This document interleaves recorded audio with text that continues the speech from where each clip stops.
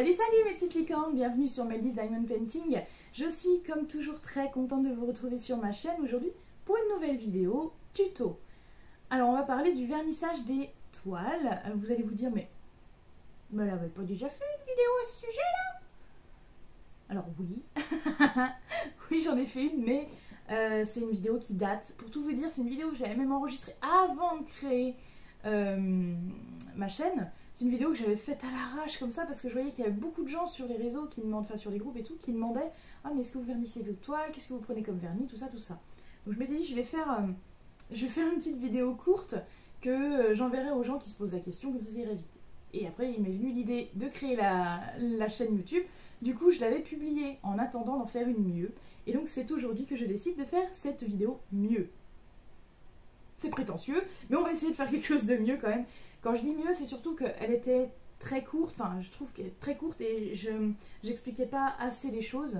Là on va essayer d'expliquer plus euh, en détail. Peut-être que j'oublierai des choses, j'en sais rien, ça n'empêche pas que vous pouvez me poser des questions toujours dans les commentaires, ça c'est clair. Donc voilà, petite précision, petite précision quand même.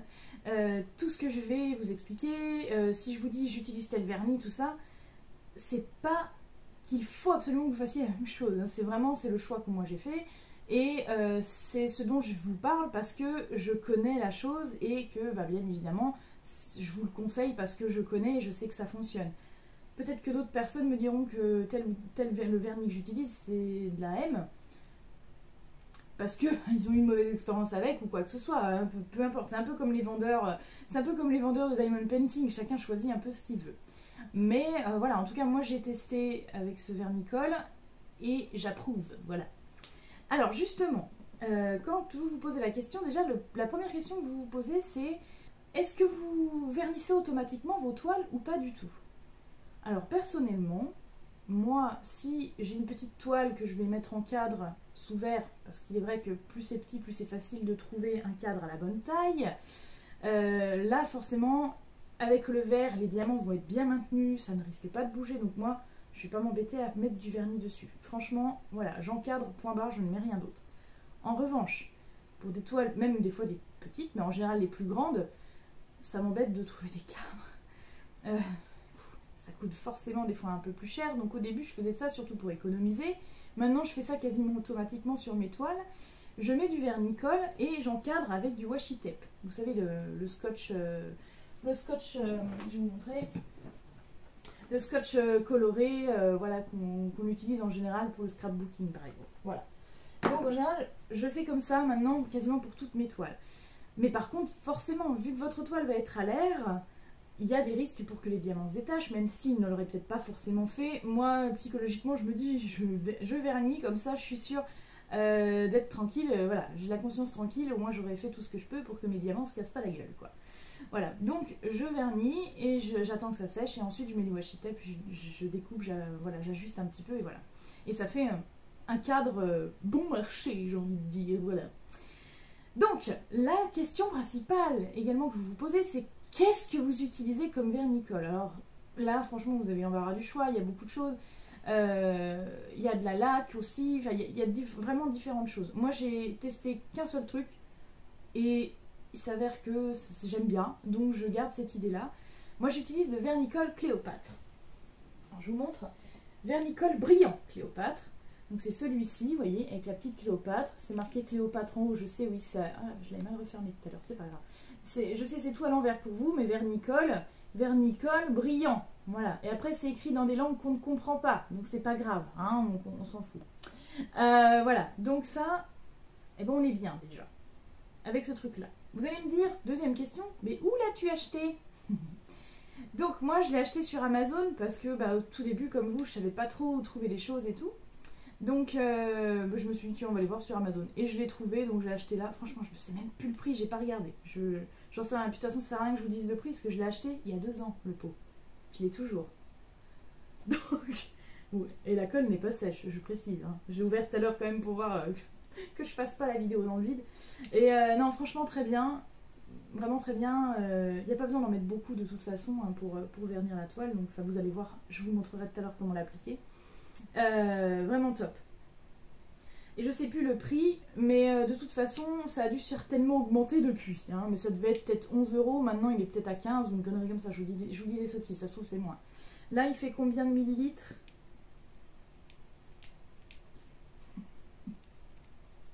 Je ne sais pas. 250 grammes. Combien de grammes il fait? 250 grammes. Donc ça, c'est un pot de 250 grammes. Euh, voilà. Bon, bah écoutez, franchement, j'ai rien de plus à ajouter pour l'instant. Je vous montrerai de toute façon après comment l'étaler. Vous allez me dire qu'est-ce qu'on peut utiliser comme pinceau? Alors, euh, c'est pareil, ça, moi j'y connaissais rien du tout. Donc, qu'est-ce que j'ai fait? Je suis allée dans un magasin de bricolage. Et je suis allée au rayon, euh, au rayon, oui, au rayon. Pas les oreillons, non, le, rayon où on trouve des choses. Et, et, du coup, je me suis rayon pinceau pinceau vernissage, tout ça, j'ai dû bien trouver mon bonheur là-bas dedans. Et effectivement, et ce que je voulais, c'était un pinceau donc euh, de ce style, voilà. Et surtout, euh, qu'il ne soit pas, enfin voilà, qu'il perde pas trop ses poils. vous voyez, il, perd des petits crins, mais de temps en temps, c'est pas grave. Mais l'autre chose, c'était que je voulais qu'il soit doux. Et effectivement, quand je l'ai touché, je dis ah ça va, il est pas trop rêche. Voilà, je me suis dit il faut qu'il soit doux parce que quand on va le passer quand on va le passer sur, euh, les, diamants, il faudrait pas qu'il fasse popper tous les diamants. tous les trucs qui se pètent la gueule au fur et à mesure, t'es là. Ah C'est la panique Donc voilà. Donc du coup, j'ai pris ce pinceau-là. Franchement, je sais même plus. Je vais pas vous dire les noms de magasins de bricolage. Je vous connaissez, il y en a plein. Les bricots quelque chose, hein, il y en a plein. Vous allez, vous allez trouver. Et puis même, franchement, les grandes surfaces, vous en trouvez aussi. Pas de souci, d'ailleurs, il y a un truc qui pas en cacahuète, j'ose pas l'enlever. Bref, voilà, pinceau tout simple, mais surtout essayez de prendre quelque chose de doux pour pas abîmer vos diamants ou pas les faire, euh, faire sauter. Si vous prenez un truc super méga dur, c'est pas la peine. Voilà, donc là, vous voyez, il est, il est quand même résistant, parce qu'il faut quand même, voilà, mais il est quand même très doux. Donc j'aime beaucoup. Ok, ensuite, autre outil indispensable pour le vernissage d'une toile. le rouleau à pâtisserie.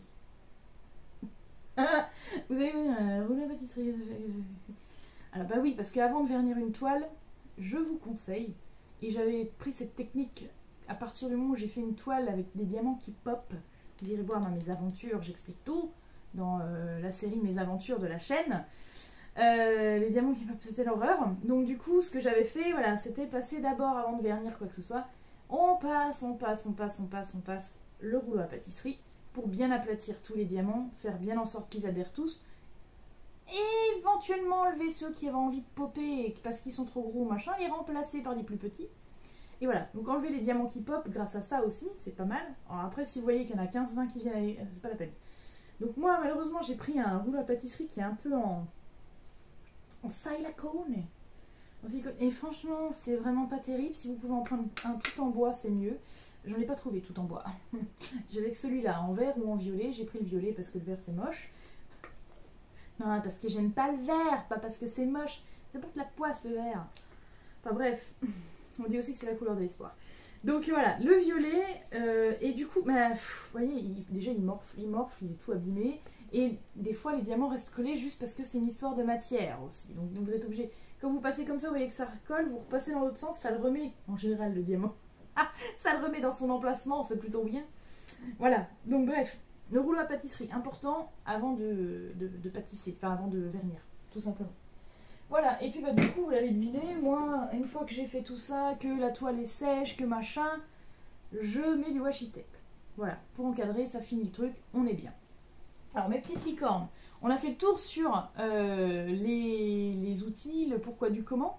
Ce que je vais faire maintenant, c'est vous montrer euh, comment, comment on vernit une toile.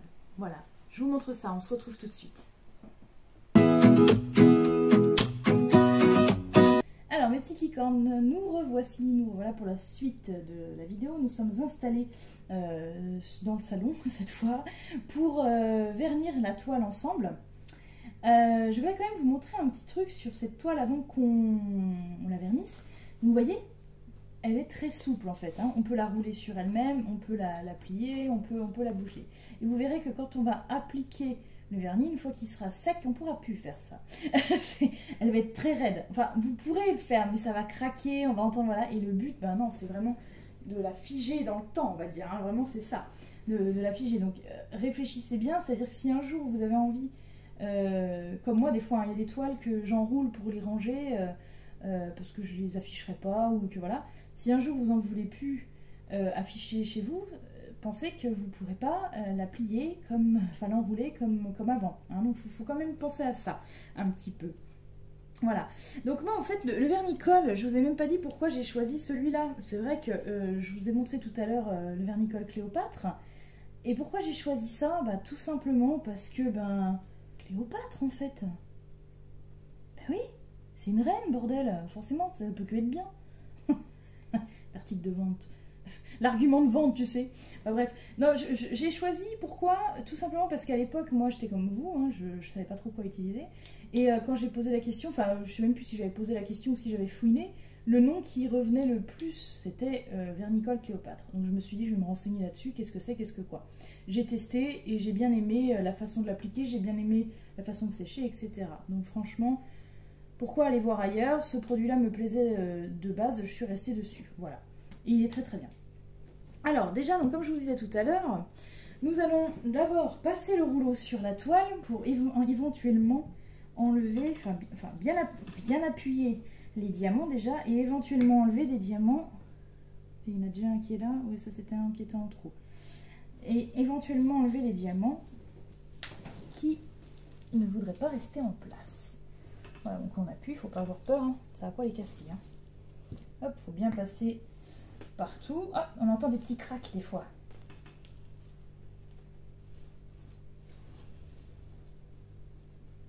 Si vous entendez des petits cracks, ça veut dire qu'il y a des diamants qui étaient mal mis, se remettent en place. Hein.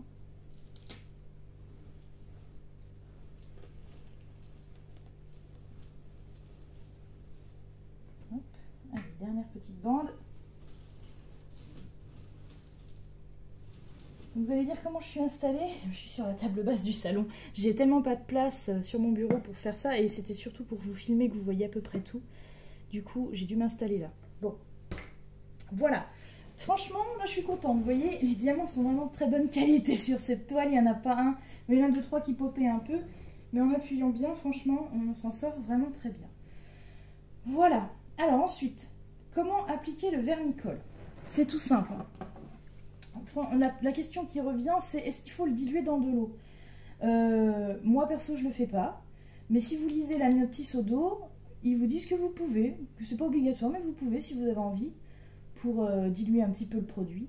Moi j'aime bien le produit brut parce qu'il est bien épais et je vois vraiment où j'en mets en fait. J'ai peur que euh, avec l'eau ça le liquéfie trop et que j'ai pas le temps de l'étaler, qu'il soit déjà euh, dégoulinant à tout. Moi j'aime bien quand il est épais, voilà. Donc je, l'utilise brut de décoffrage, tout simplement quoi. Donc je n'ajoute pas d'eau.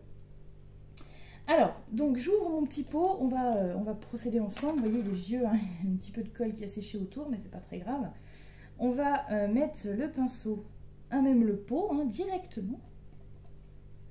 Hop, alors surtout essayez de ne pas, surtout au début, c'est pas facile de doser. Essayez de ne pas trop en mettre, hein, parce que sinon ça va vous faire un pâté. Et euh, je peux vous garantir que euh, après, vous avez intérêt de bien étirer pour pas que ça vous fasse de trucs trop trop trop dégueux.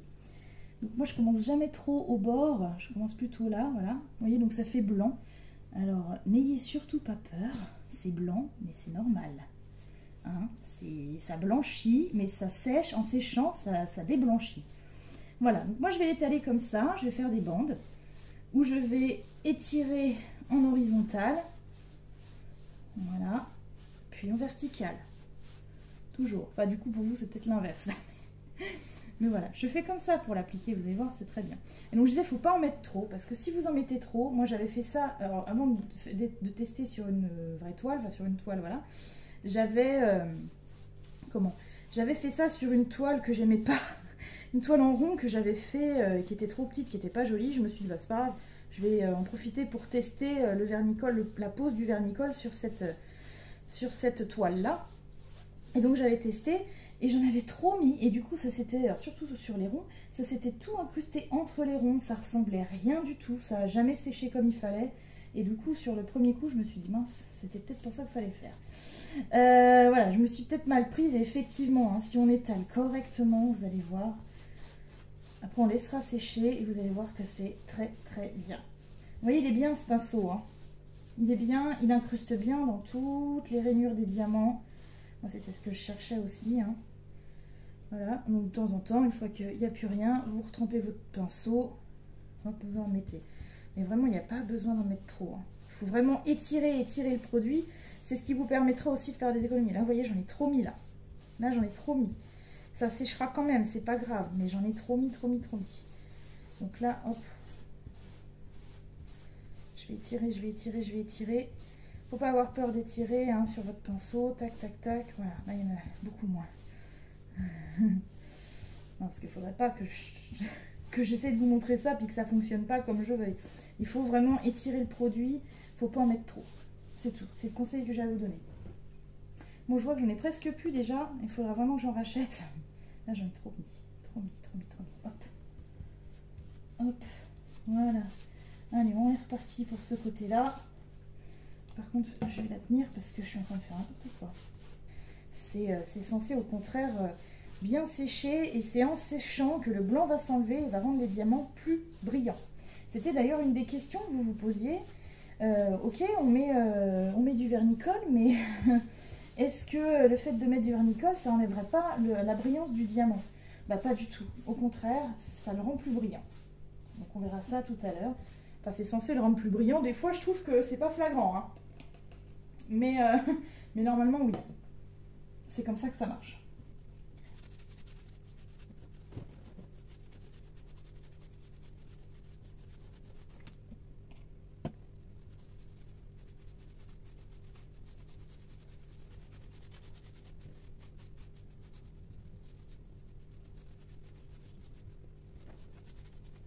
Voilà, bon, du coup on a étalé euh, du vernicole un peu partout, enfin même partout, normalement c'est censé être vraiment, vraiment tout tout recouvert. Donc maintenant, on va laisser reposer. Vous voyez, il me reste encore de la colle, hein, c'est incroyable. C'est incroyable, il me reste encore beaucoup. Je pensais le finir là, mais même pas. Ouais, ils, disent de laisser de lécher sécher, de lécher sécher 10 euh, minutes. Moi, personnellement, euh, j'attends toujours bien plus. J'attends toujours bien plus, mais c'est vrai qu'en 10 minutes, c'est largement bon. Euh, moi, j'attends toujours bien plus. J'attends toujours une demi-heure, voire une heure, pour être sûr, sûr, sûr.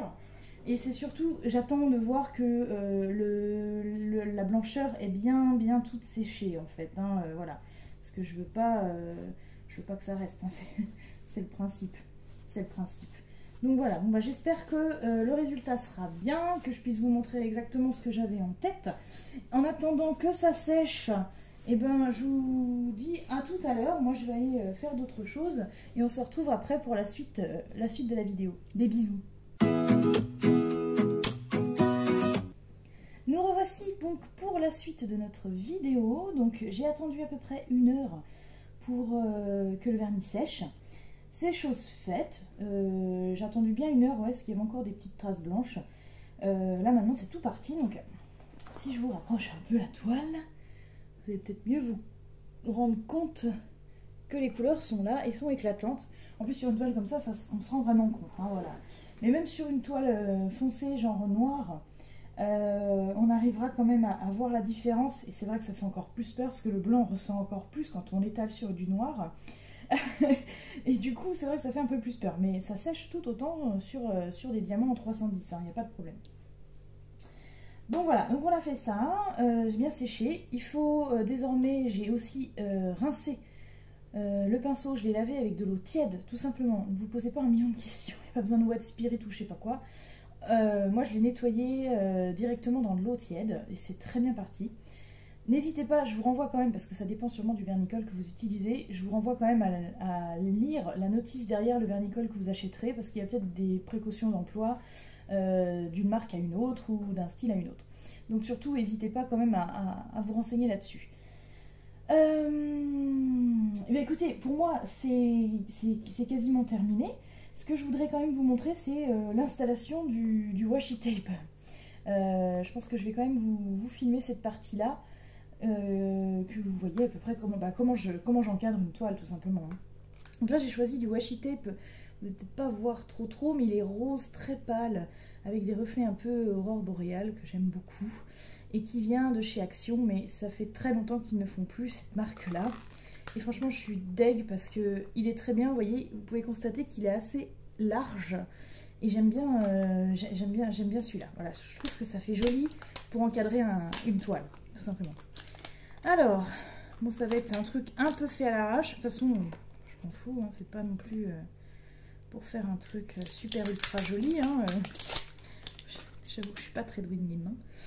Donc voilà, alors on va le déplier. Déjà, j'en ai pris deux, j'en ai deux rouleaux. Je pense qu'un, ça suffira, mais on sait jamais. Alors, je fais d'abord. Alors déjà, je vais enlever. Vous savez, quand je fais, quand je fais la toile, j'aime bien mettre des morceaux autour, des morceaux de papier protecteur pour pas euh, coller, euh, pour pas que mon bras colle euh, sur le côté. Voilà. Donc je mets ça, comme ça on est bien. Alors, ce que je fais dans ce sens-là, je vais coller ça. Enfin, coller. Je vais pas le coller tout de suite, mais il colle quand même. Je vais mesurer. Moi, je mesure au doigt. Hein. Franchement, je m'embête pas la vie.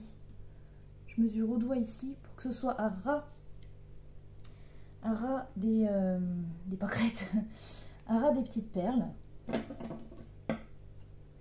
Je coupe une première bande. Hop. Voilà. Comme ça, celle-ci, elle sera là. Parfait, nickel. Du coup, je vais en couper deux de cette taille-là. On est d'accord? Donc là, je la pose.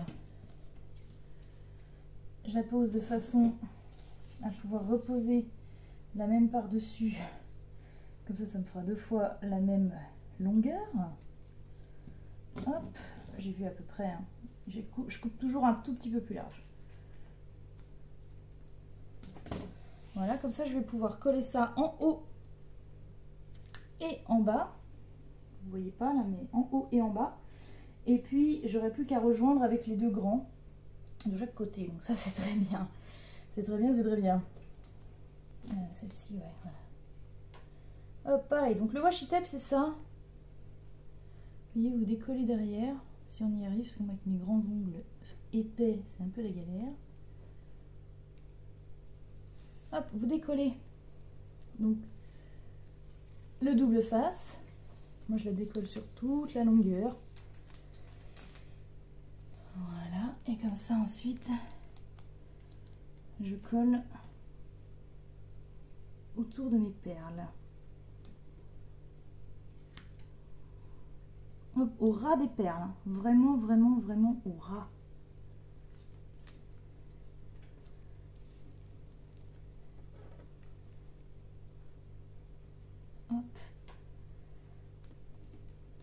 Voilà.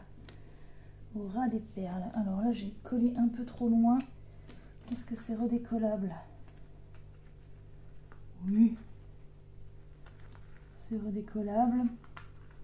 Je dois vraiment coller au ras des perles et puis pas plus loin que le bord. voilà, comme ça j'aurai juste à rajouter la longueur après. Nickel. Hop, je sais pas si vous avez bien vu ce que j'ai fait. Mais j'en ai enlevé un petit bout. Je vous montre déjà le résultat de ce petit bout. Tac. Ah, c'est vrai qu'on ne peut pas la plier. Hop. On voit bien le papier. C'est beau comme tout. Et après, je viendrai découper autour, bien évidemment. J'enlèverai le surplus de papier, euh, le surplus de toile, hein, parce que ça fait pas beau. On va laisser comme ça. Je vous montrerai le résultat final. Donc voilà. Donc là, j'ai fait comme ça. Ensuite, je vais prendre la deuxième que je vais coller en bas. Mais avant, je vais vous montrer comment je découpe du coup la deuxième. C'est exactement pareil en fait. Hein. Je la colle au ras, des, des perles. Et puis hop, je la mène jusqu'à là et je découpe de la bonne longueur. Voilà. Et je vais faire ça deux fois. Puis ensuite, je vais venir découper du coup, euh, coller tout le reste tout autour. Découper le tour de la toile. Et puis ensuite, bah, je vous montrerai le résultat. Donc on se retrouve à la fin de la vidéo. je vous montre comme ça, comme ça je vous montrerai la totalité faite. Voilà, j'espère que vous avez compris un peu euh, comment je fais. Si c'est pas très clair, n'hésitez pas à me poser des questions. J'ai du mal à faire deux choses en même temps. à vous expliquer et vous montrer, c'est pas simple. Donc n'hésitez pas à me poser des questions. Et euh, en attendant, bah, on se retrouve à, à la suite pour vous montrer le résultat final.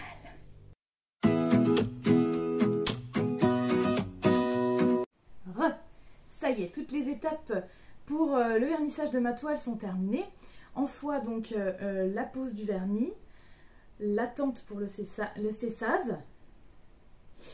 Et, également l'encadrement avec le washi tape. Ce sont les trois étapes que je fais toujours lorsque je termine une toile, enfin quasiment toujours en tout cas. pour les toiles que je veux accrocher, je procède comme ça. Sinon, si j'ai pas envie de les accrocher, je les enroule tout simplement sur, sur elles-mêmes et je les conserve dans leur carton d'origine. Voilà, comme ça je suis sûre que les diamants se sauvent pas trop. Normalement, ça, ça tient quelques années.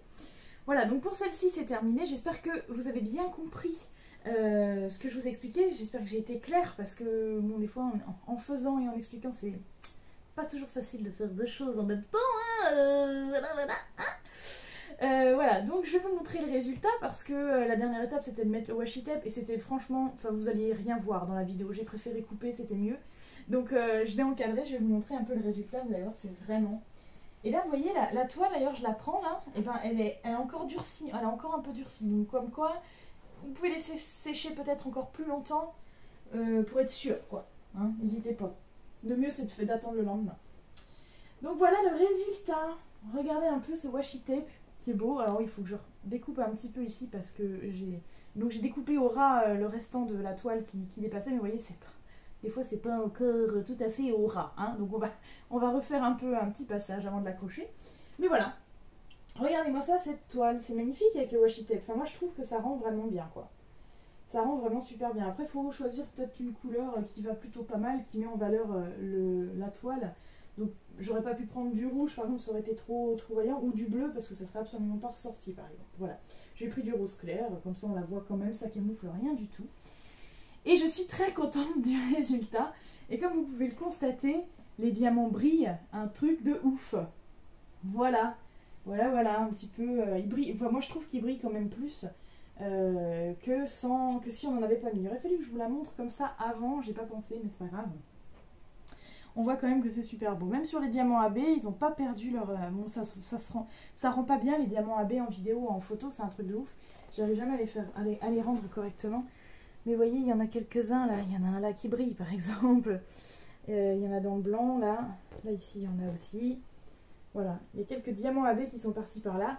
Et ça n'a pas enlevé l'effet aurore boréale non plus des diamants AB. Donc franchement, je suis très contente de ce vernis. Je vais en racheter parce que j'en ai presque plus. Et puis bon, comme je vous dis, le pot dure depuis longtemps. Donc franchement, euh, c'est bien, même pour le prix. Euh, c'est bien. Après, si vous faites un DP tous les mois et que vous le vernissez, oui, ça vous fera peut-être moins longtemps que moi, le pot, hein, mais... Mais voilà, c'est pas un truc sans fond, hein, c'est pas le sac à main de Mary Poppins non plus le truc, hein, euh, donc voilà, on se calme, on se calme. J'espère quand même que, que, ça a été pour vous, j'ai pu vous aider. Et puis n'hésitez pas à, vous, me poser des questions si j'ai oublié certains détails ou si du coup ça a amené d'autres questionnements, parce que des fois on pose une question, on répond, puis ça repose une question. C'est une chaîne sans fin, donc voilà, n'hésitez surtout pas. En attendant de vous retrouver pour une prochaine vidéo, je vous fais des gros bisous arc-en-ciel et vous invite à rejoindre mes autres réseaux sociaux que je mettrai dans la description. Je vous fais des gros bisous encore, plein de bisous arc-en-ciel. À très vite. Ciao mes petites licornes.